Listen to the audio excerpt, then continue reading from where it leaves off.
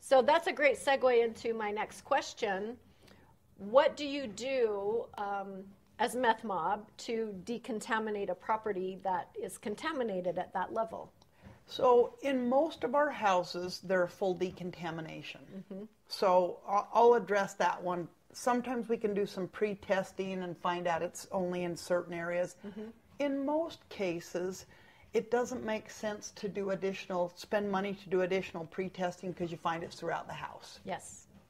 So on a full decontamination, on day one we call it our dry day, and that's where we go hook up a great big HEPA vacuum to the furnace, and we vacuum out all the supply lines, the cold air return, the furnace, the plenums. We pull the, the drawers out of the cupboards, like in the kitchen and bathroom. We vacuum in there. We vacuum the whole house after the carpet and pad is out um, because we don't want meth mud. We, you know, the, the process is wet, so we get all of our dry out. So day one is our dry day. Uh-huh. Day two, three, and four, we're scrubbing every inch of ceiling, wall, floor, cupboard, drawer, duct, Harry Potter closet, the furnace, the plenums, the supply lines, everything. We are. I know the, the pup's We've got getting some anxious. um, background noise. It's all good. It's all good.